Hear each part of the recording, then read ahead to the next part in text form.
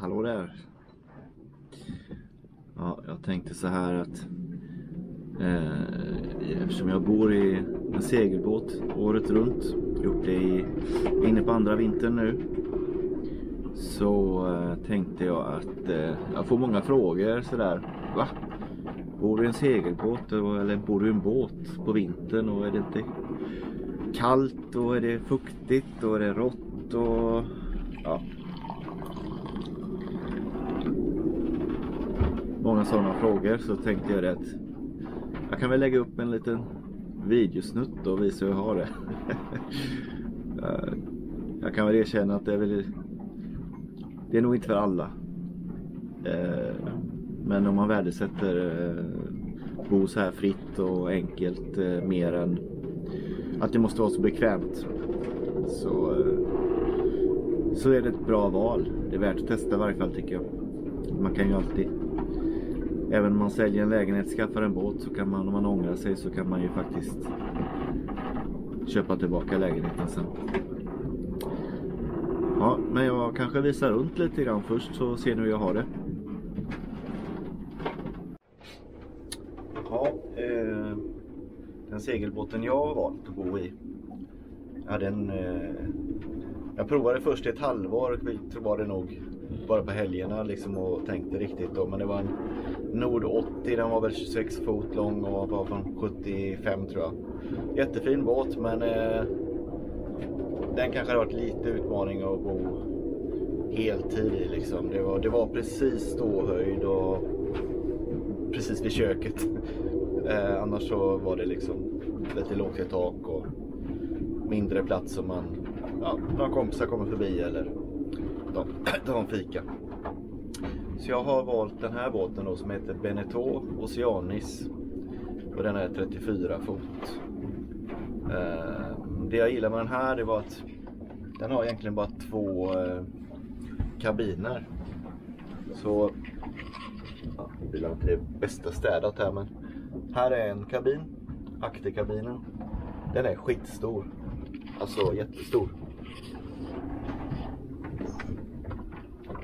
Det är liksom dubbelsäng. Ändå så har jag fullt med backar längst bak med lite sån här ja, fritidskläder, extra kläder som jag lägger där som jag inte använder dagligdags. Eh, men eh, det är jättegott om plats här. Min garderob jag har det är den här. Byxor längst ner, t-shirtar och tröjor uppe. Det räcker för mig. Och så hör jag ytterligare en kabin längst fram då.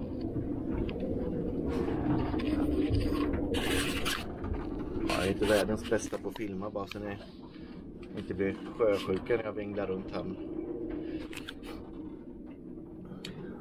Där framme också en kabin med en dörr man kan stänga sig för. Och samma där om man sällskap, någon kompis vill följa med ut och segla eller någonting så kvällen kan man låsa om sig, stänga om sig där och där får ju plats två vuxna lätt liksom. Eh, det är klart man kan sova här i det här också men det är aldrig... Nej. Här ska inte... Utan det är två kabiner, det får räcka. Sen har jag lyxigt stor toalett. Med liksom varmvatten och allting vad man kan ha. Nu använder inte jag duschen här på vintertid. Så då hänger alltid kläder och sånt här. Det blir en liten extra garderob. Men annars så... Ja, men nej. Bra toaletter. Jag tänkte det, ni kan ju om ni vill eh, ställa någon fråga i kommentarsfältet om det är någonting ni undrar på. Det, men eh, faktum är att det är inte så mycket jag behövt göra med båten. Det har bara varit det här lilla med eh, säkra upp med värmen då med extra värmekablar längs vattenledningarna. Men eh, nej, alltså det är helt otroligt hur bra den här funkar under vintern. Alltså det är sjukt bra. Motorn startar lätt och jag har varit ute och seglat. Passa på, det var, jag hade sånt stort sug. Det borde jag filmat men eh, det var ju lite is som låg i hamnen och jag var så sugen på att ut Jättefin Blå himmel, lite lätta vindar. Jag slog det det is så jag var inte så jättesugen att köra med plastskrov genom isen ut. Men så kom det en båt och drog en ränna ut, ut i havet. Ut ur hamnen och där var ju öppet vatten liksom. Så jag på med flytvästen och startade motorn och kastade loss och så seglade jag ut. Ja, helt underbart var det. Jag kanske har något kort på det. Eh, solnedgången där ute i havet och sov över en natt ute i skärgården. Sen tuffade jag hem nästa dag. Och då kom jag ju på det att ja, det var ju korkat. Tänk om det har frusit nu så kommer jag inte tillbaka in i hamnen. Men eh, man ska ha tur ibland. Då var det någon annan båt som hade kört upp en ränna där på morgonen. Så, att, eh, så jag kom in i hamnen. Så det var ju... Ja, man ska ha lite tur ibland. Eh, så är det. Ja. Det är ju så med jobb och sånt där. Ofta så jobbar jag liksom så att jag åker söndag kväll och kommer hem på torsdag kväll. Så då är det bara fredag, lördag, söndag som jag är hemma. Så just det med tvätt och sånt där så har den lyxen att oftast kan jag ta med mig tvätten och tvätta på jobbet. Men det finns eh, tvättstuga här i hamnen.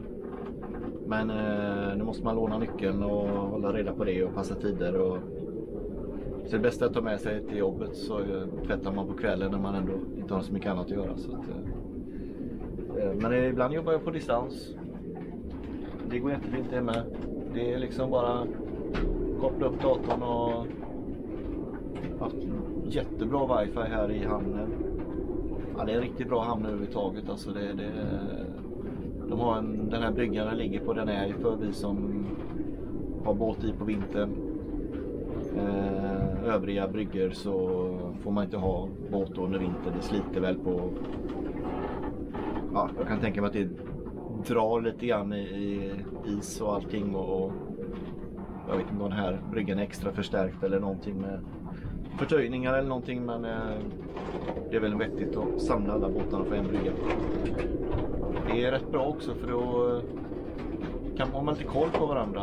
Eh, kolla förtöjningarna och som idag då när det blåser så här mycket. Jag ska ju definitivt ut och gå en sväng på bryggan och kolla allas förtöjningar och, och så det är inte någonstans det ligger och skaver eller har släppt eller någonting. Det, det, det, får man hjälpas åt med.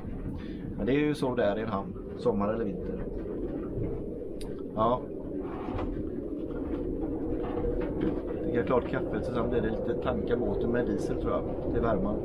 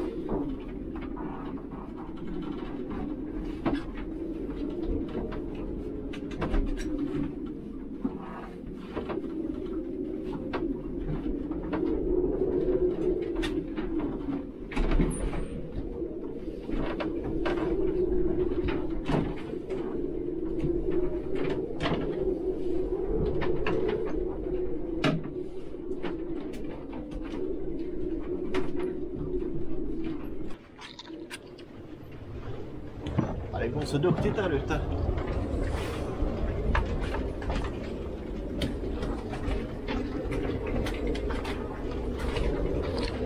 Svänga för alltså.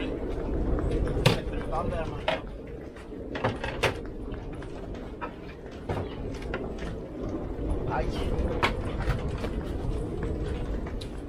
Glömde jag ju nyckeln till att kolla hur mycket bränsle jag har på. Alltid är det något.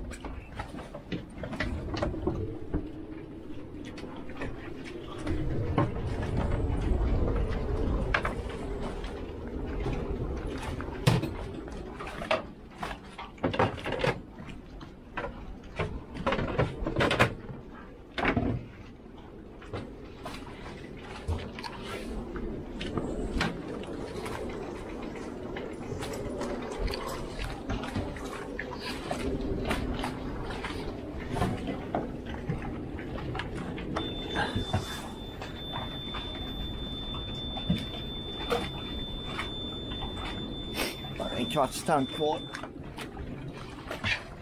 Så det drar inte mycket diesel alltså. Det är, det är så här varmt, alltså en 20 liters dunk, det här räcker skitlänge alltså. Tycker jag. Men eh, jag har en ny dunk i bilen så jag ska gå och hämta den.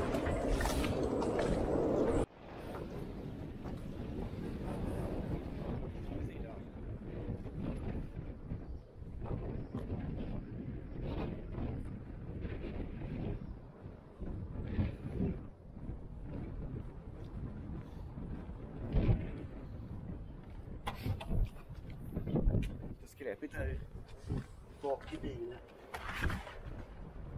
Lite arbetskläder och sånt. Jag höll på att byta arbetsplats från en till en annan så man var det i bilen. Det går bra.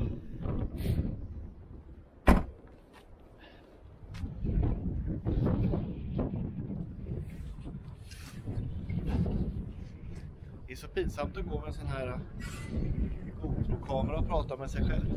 Det är alltså det var en i bryggan där ute så stänger av kameran där.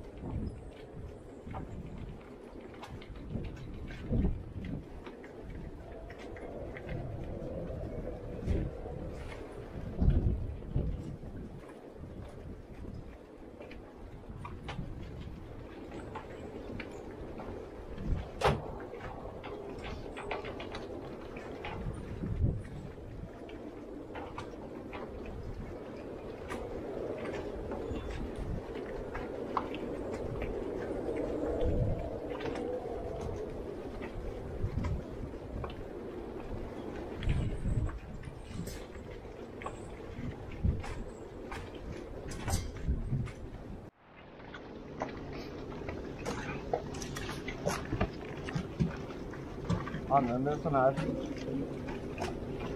pump istället. Istället för tratt så att det spiller diesel ner i havet. Så där ja. Nu är båten tankad och fixad. Eh, träffade två av mina båtgrannar där så vi hade lite gott snack i blåsten. Jag vet inte om du hörde, ni hörde någonting när jag, jag filmade pyttelite grann ute på bryggan där men det blåser som 17 och jag har ingen bra mikrofon så att eh, det hörs nog ingenting. Men det, är- det är trevligt med bra grannar. Vi liksom kollar varandras båtar som sagt och det känns tryggt. Uh, ja. Nu ska jag göra mitt första försök här då och klippa ihop de här små snuttarna och se om det kan bli något klipp jag lägger upp. Så Uh, hoppas att det är någon som tittar och kanske kommenterar. Det hade varit jättekul. Och, ja, har ni några frågor och funderingar så tveka inte och lägg en kommentar. Så. Yes. Hej så länge.